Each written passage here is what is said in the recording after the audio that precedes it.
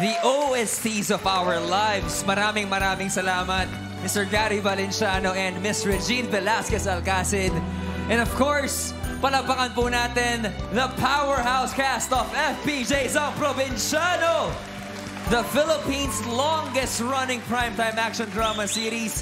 Isa pong karangalan na makasama kayo rito. Saludong-saludo po kami sa inyong lahat. We have Jeff Eigenman, Whitney Tyson, Dax Augustus, Carl Medina, Jimboy Martin, Sancho de las Alas, CJ Ramos, Jay Gonzag, Basilio, Smugless, John Medina, and Mark Solis. Kasama rin natin sina Raymond Santiago, Shaina Magdayo, Michael De Mesa, Angel Aquino, John Estrada, John Arcia, Ruel Santiago, Miss Lorna Tolentino, and the one and only megastar, Miss Sharon Coneta.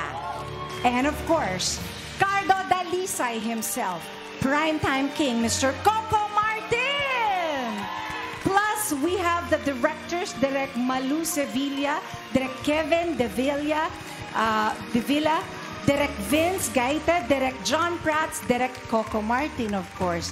Seven strong years of FPJs ang Provinciano. Job well done. Mission accomplished. Ayan. Coco, ano bang... Tat oh, ano bang nilalaman ng puso mo ngayon? Alam kong medyo mahirap for everyone para magpaalam sa napakahabang journey ng ang probinsyano. Unang-una po, gusto ko magpasalamat kay Tita Susan kasi sa kanya po nagsimula ang lahat ng ito dahil pinayagan niya kami gawin yung proyekto. At salamat po kay FPJ kasi po siya po naging inspirasyon naming lahat na gawin yung mga pelikula o mga obra niya.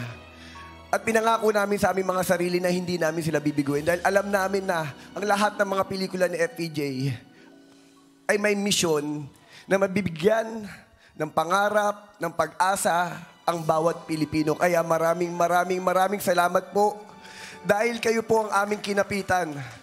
Kaya hindi kami bumitiw hanggang dulo. At sobra ako nagpapasalamat sa ABS-CBN Management, sa lahat ng aming mga boss dahil talaga yung support ang ibinigay nila sa amin, ang pagtitiwala. Sobra-sobra, maraming maraming salamat.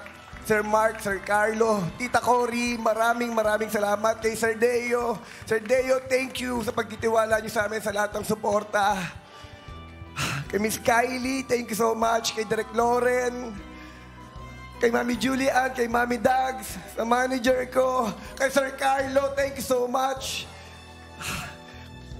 Kay Miss Kylie, kay Ate BG, sa lahat, sa lahat-lahat, kila Ate Ayla, kila Ate Sol, sa lahat ng mga directors namin, kay Direk Malu, kay Direk John Pratt, kay Direk Kevin, kay Direk Albert, kay Direk Vince, sa lahat ng makeup artists, sa lahat po ng mga talent, sa lahat po ng mga stuntman, kay Fred, sa double ko, thank you, thank you, thank you so much po.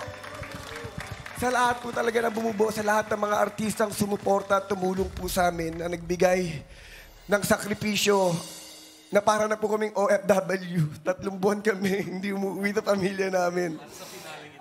Lahat ng pagsubok po, sinubukan namin lampasan. Lindol, pagputok ng bulkan, COVID-19.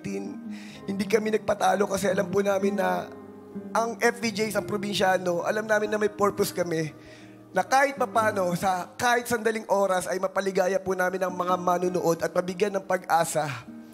Ginagawa po namin to para sa inyo po. Para sa lahat ng Pilipino. Kaya maraming maraming salamat po sa pitong taon na pagsama nyo. At maraming maraming salamat po sa pamilya ko, sa pag-intindi sa akin. Thank you so much kayo po. Inspiration ko, I love you.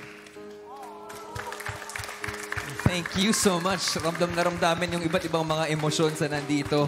Alam niyo, hindi lang to programa. Parte to ng buhay ng bawat Pilipino. Kaya maraming maraming salamat po sa inyo.